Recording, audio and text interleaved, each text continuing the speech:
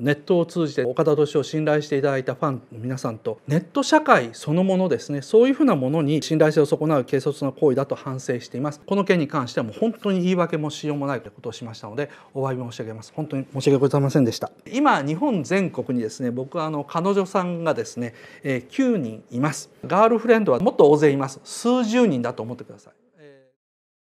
まずですね、まあ、冒頭一番最初からですね入りますけれども、えー、今回のプリクラ写真とかその他の写真についての僕の方からの、えー、お詫びと真相というやつですね、えー、ネットで流れているプリクラの写真とあと、えー、他に多分何点か写真があると思いますけれども、えー、全て本物です、えー、流出させあのこの写真を流出したのはですね今僕がお付き合いしている京都の A さんという女性です、えー、もうこれ一般の方ですから、えー、仮名にさせていただきたい。で A さんはこの、えー、写真を流出させたことにですねちょっとあのすごく、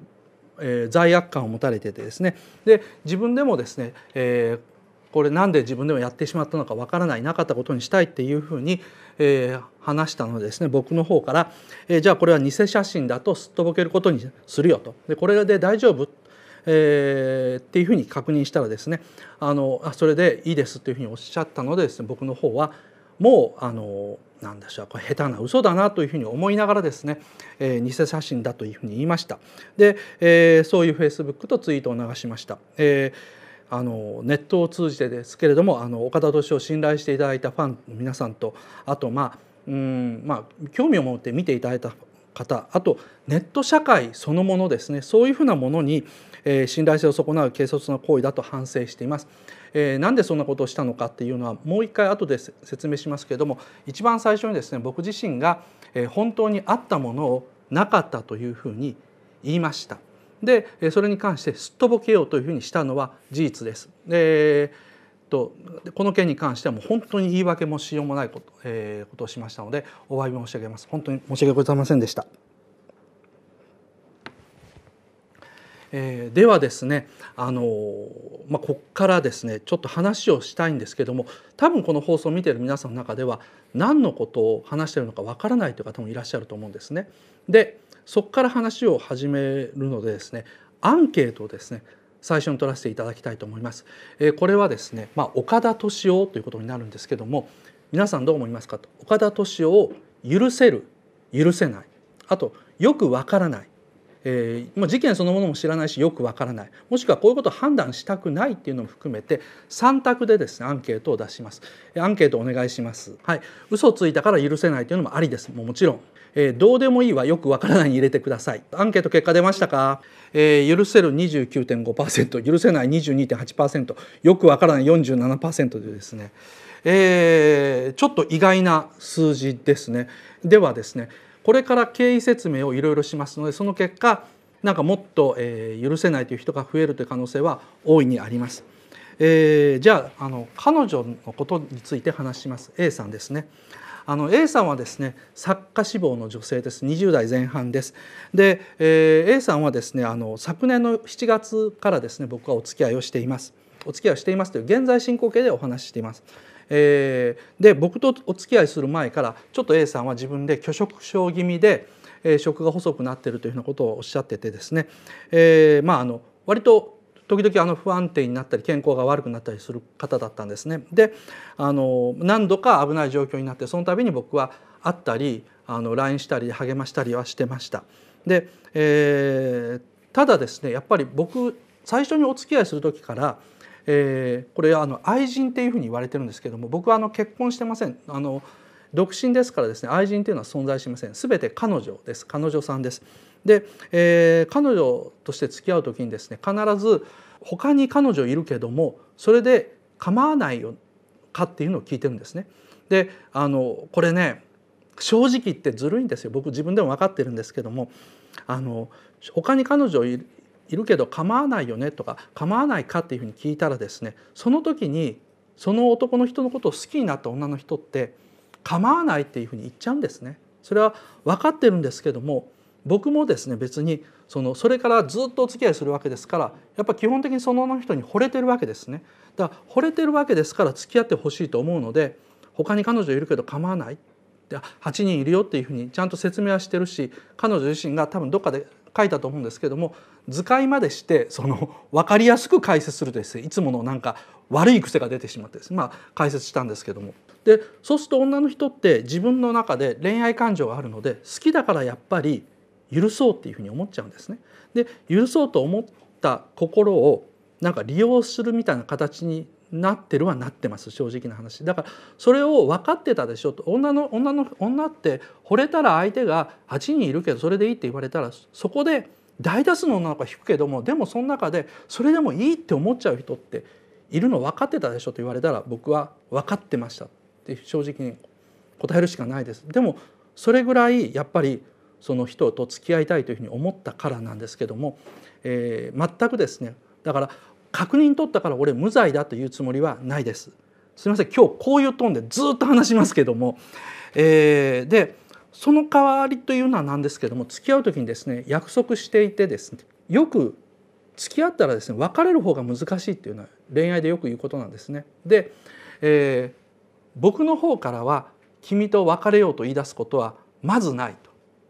まあ全くないとは言えないんです。でもまずないと。でその代わり君の方が別れたいっていうふうに言ったら僕はその段階で問答無用で一切「なんで?」とかもう一回考えてと言わずに「分かった」という関係を終了させるというのを約束にしてたんですね。それでないと何でしょうねうんその女の人の最初付き合いたいと思った決心がやっぱぐらついた時に僕の方がもっと会いたいからといって追いかけるのはこの関係においてなんかあまりにも自分がずるすぎるというふうに思ったのであの付き合う時にはですね A さんがもう別れようと言ったらその時点で僕は引き止めもせずに別れるっていうふうに決めてました。で年末にですねあの A さんからですね別れを切り出されました。その理由は彼女がですねあのこれさっき言ったルール違反なんですけども先生やっぱりもう別れます先生彼女は僕のこと先生って言うんですやっぱりって言うんですでも彼女はですねその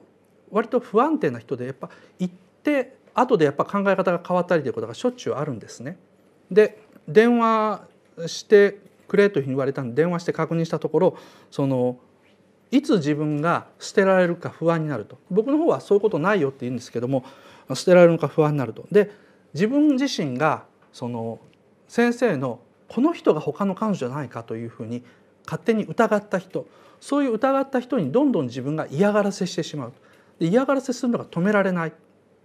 っていうことをおっしゃったんです。で僕の方はですねあのいやでも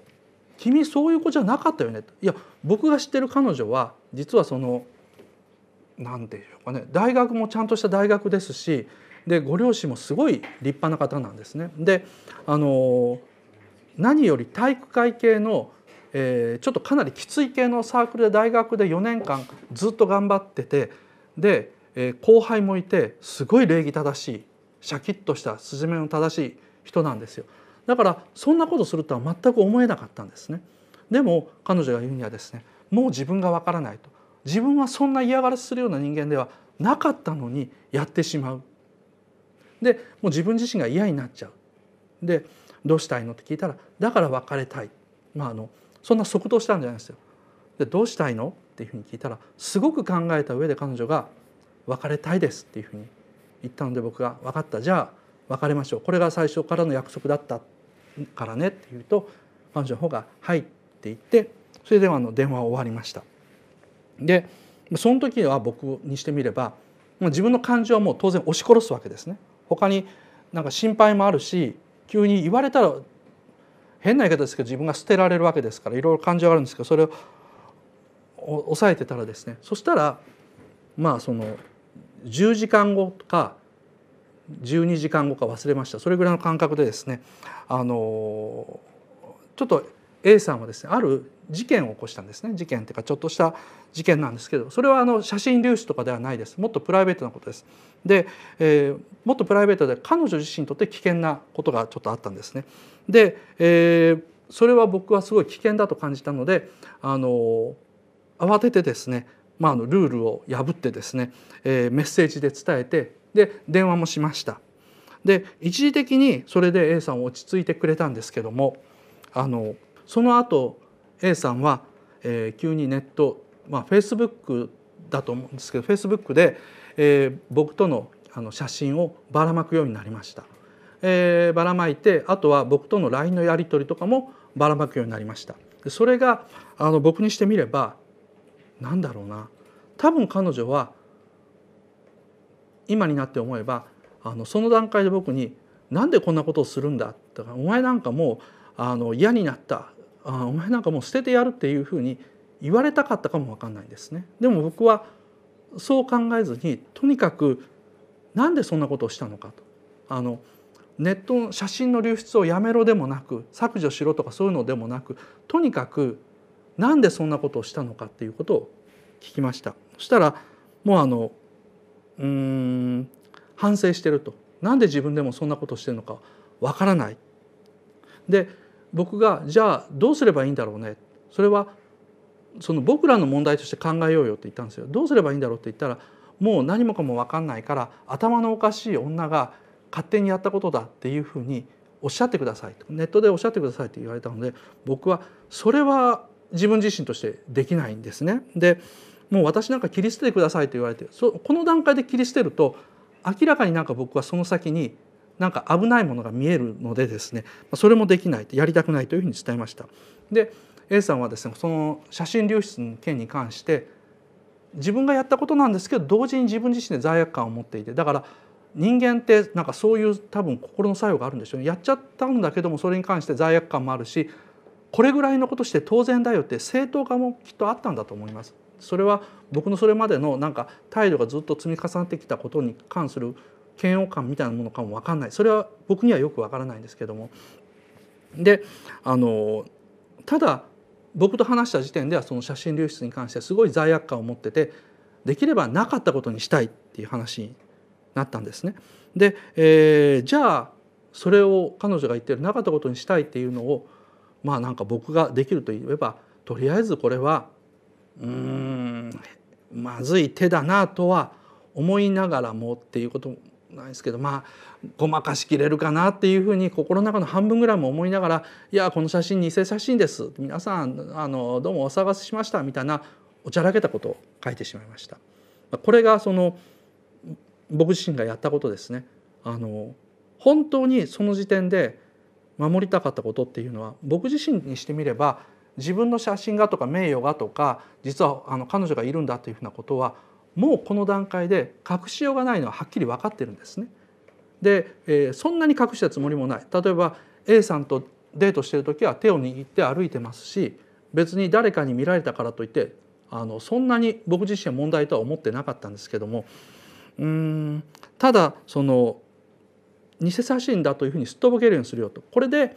あの気が楽になるっていうふうに聞いたらあの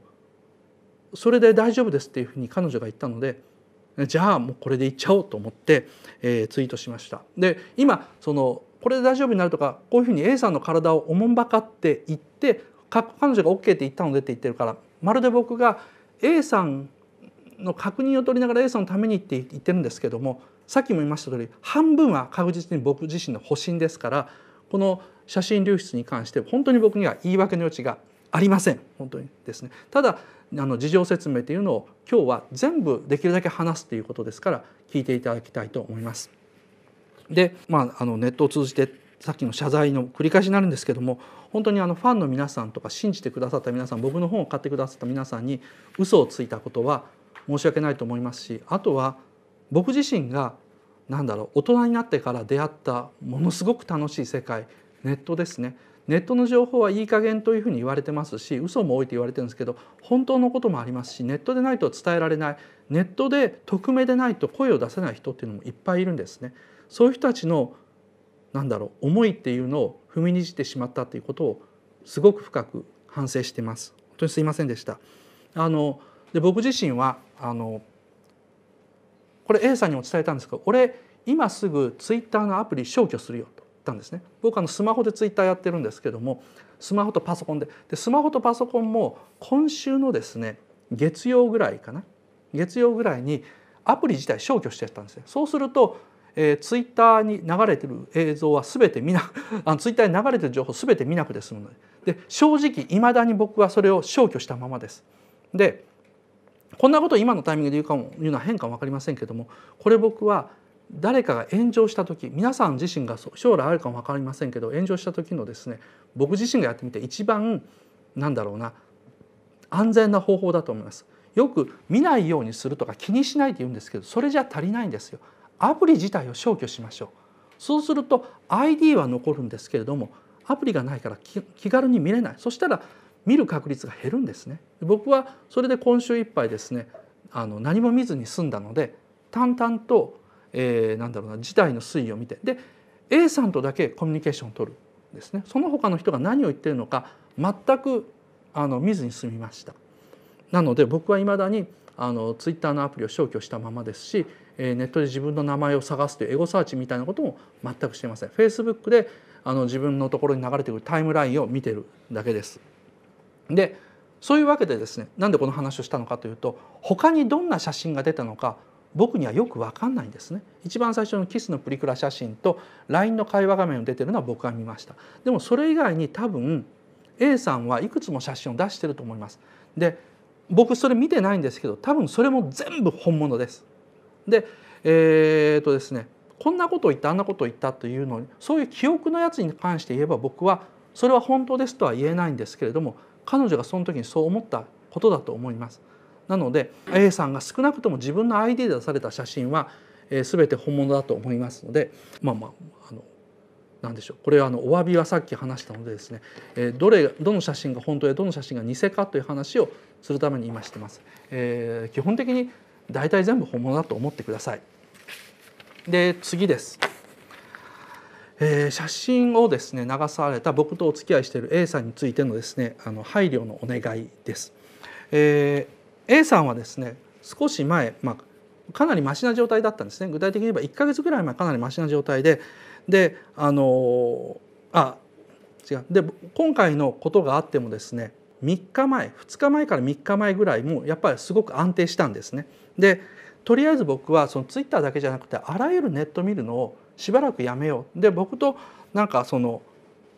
メールだけでやり取りしようっていうふうに言ったんですそしたらなんとか寝れるようになったし、まあ、薬もちゃんと飲めてるっていうふうに教えてくれたんですよ。でもあの急にですね、えー、もう LINE で岡田先生と話したくないと怖いと全部ツイッターで公開でないと話さないっていうふうに彼女は、えー、言いました。で僕はあまたやっぱネット始めちゃったんだというふうに思いました。でこういう変化がですね数時間とかすごい時やっぱ数分おきに起きるぐらいちょっと不安定な状態なんですね。でうんそういう不安な状況っていうのは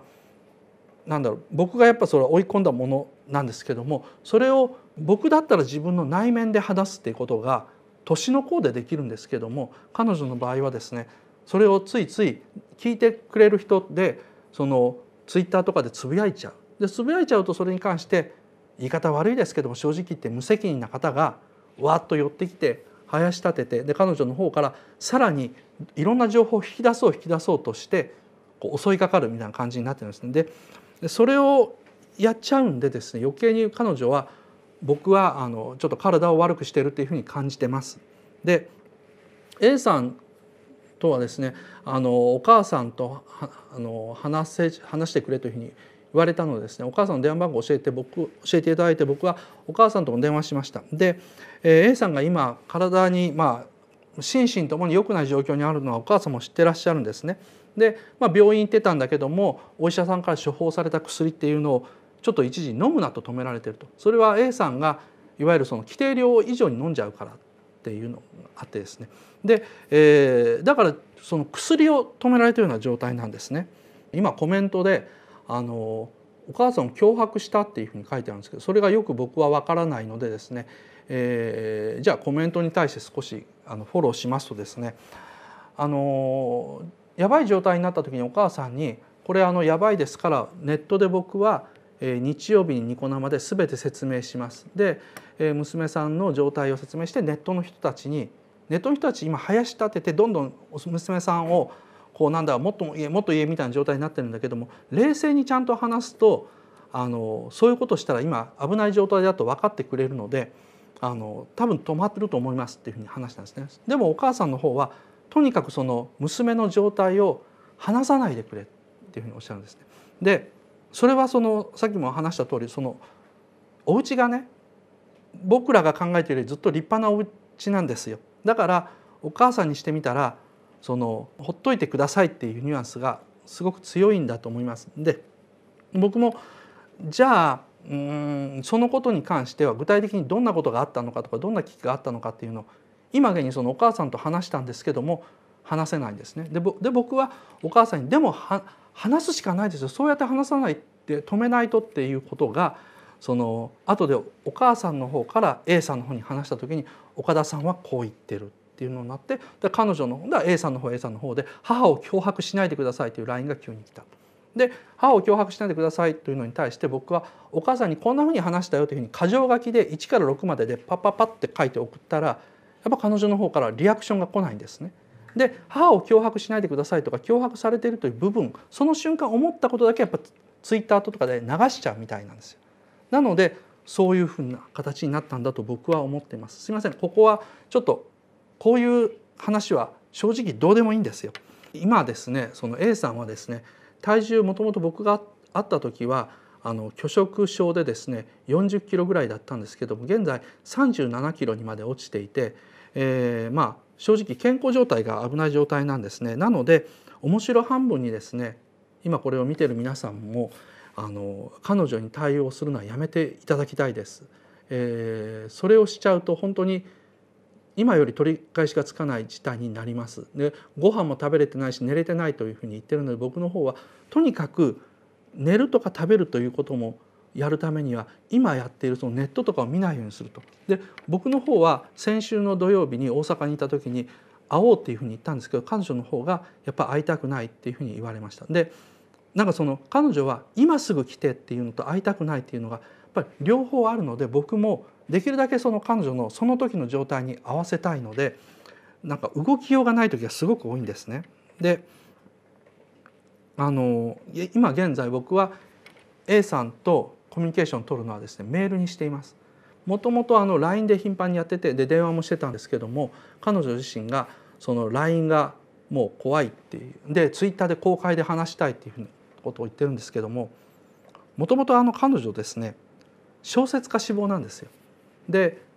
すごくうまいんです正直本当にうまいんですよ。で文章だったら長い文章だったらちゃんと自分の思ってることを書けるんですね。でも LINE とかって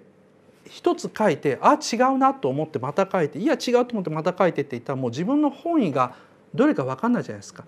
メールとか長い文章だったら1行目2行目書いてザーッと書いてったらあこれ違ったとか言い過ぎたとかこんないいこと言いた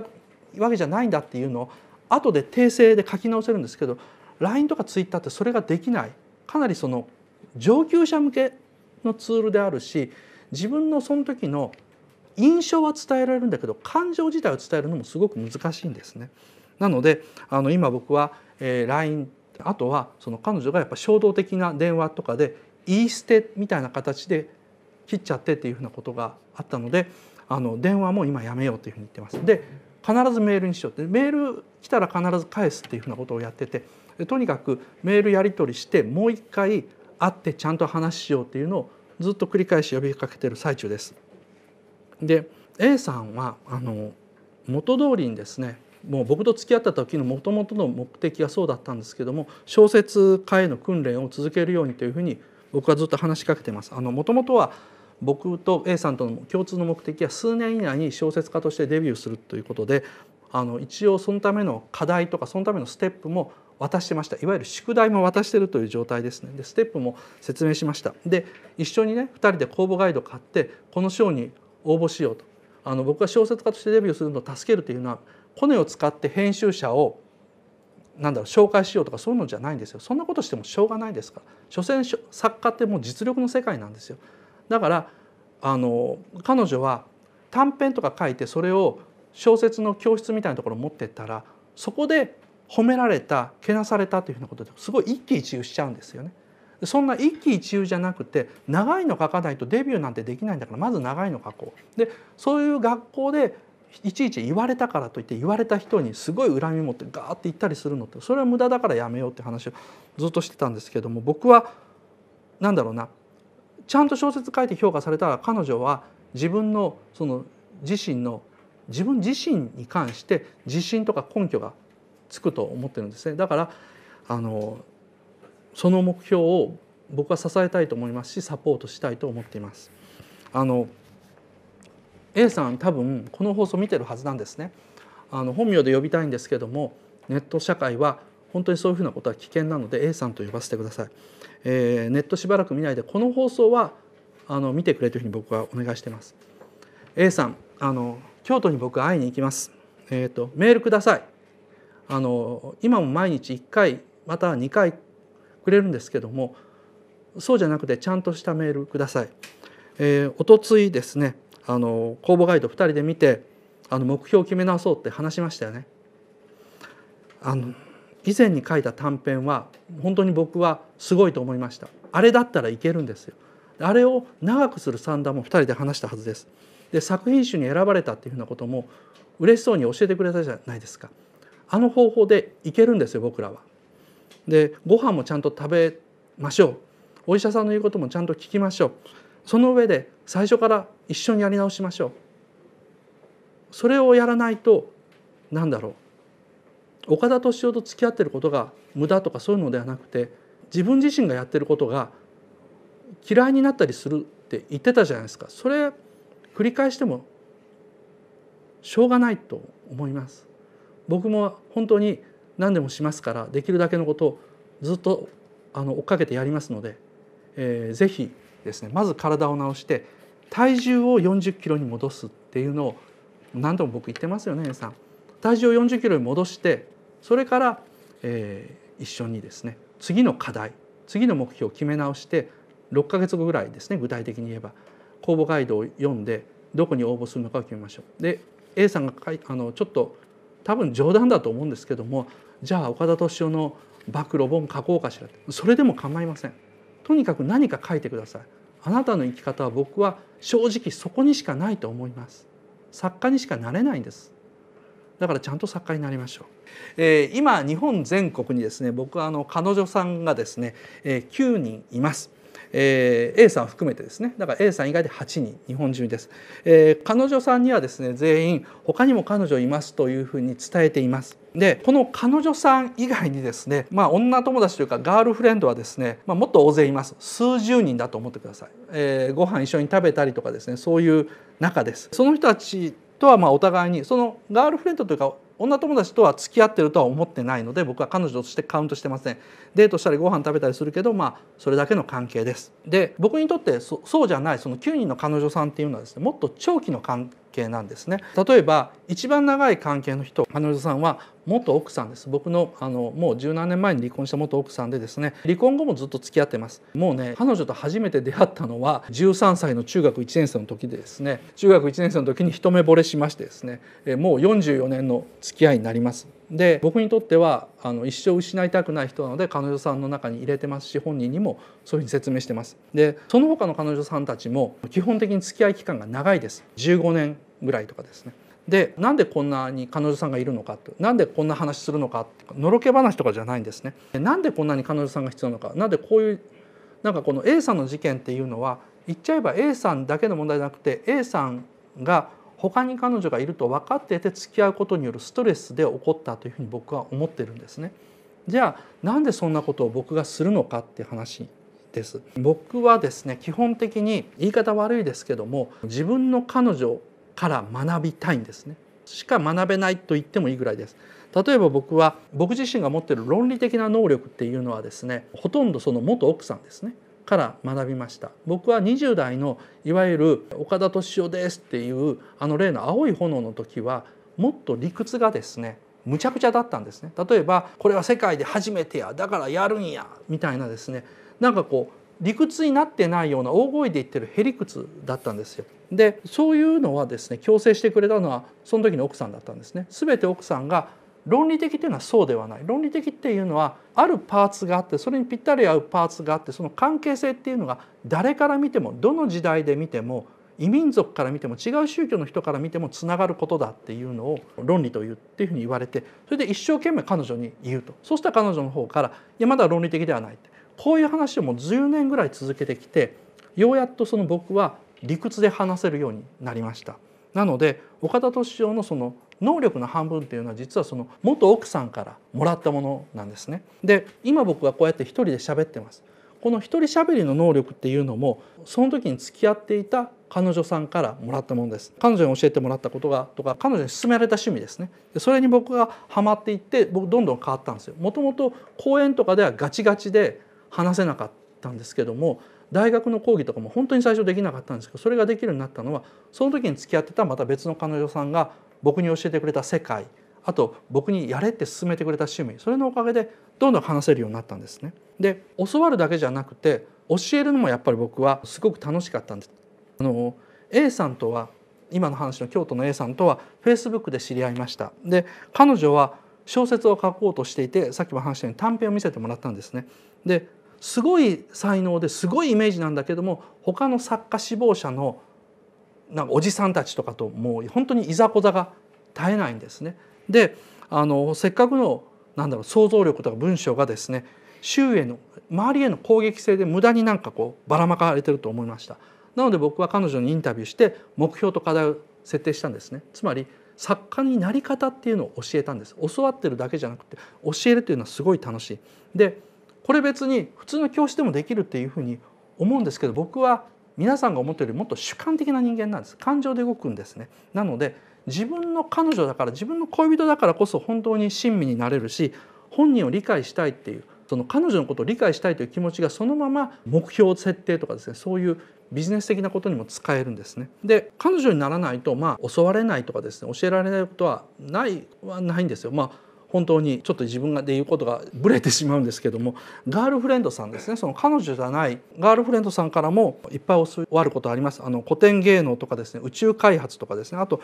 恋愛とかですね。歴史みたいなもの僕がニコ生で前から知ってたんだ岡田敏夫って博識だろうもの知ってるだろうというふうにとくとくと語っていることっていうのはほとんどがいろんな彼女さんガールフレンドから教わったことこれ面白いよというふうに言われた。なんで岡田さんこれやらないのって言われたことばっかりなんですね。多分僕はですねすごくあの惚れっぽいんですよ。多分っていうのも変ですが惚れっぽいんですね。だから本当は多分ほっといたらもっと彼女さん作りたい人間だと思います。でも今の9人っていうのはですね自分的にはもうこれ以上しばらく増やすつもりはないと思ってます。それはお互いにちゃんと分かり合える人数の上限みたいな気がしてるからですね。それが1対1でないとダメっていう人もいるでしょうしいやなんか家族で3人4人って人もいると思うんですけど僕の場合は8人から9人の彼女ですねこのあのニコ生のタイトル最初は岡田敏夫と8人の彼女でそれが後に9人と彼女って数が上下したのは何でかっていうと、まあ、今回の一件があったのでやっぱりあなたとは別れるみたいな話になりかけたこともあったんですけど最終的にじゃあもう数現状は9人ですと。でこれからはやっぱそういうなんだろうな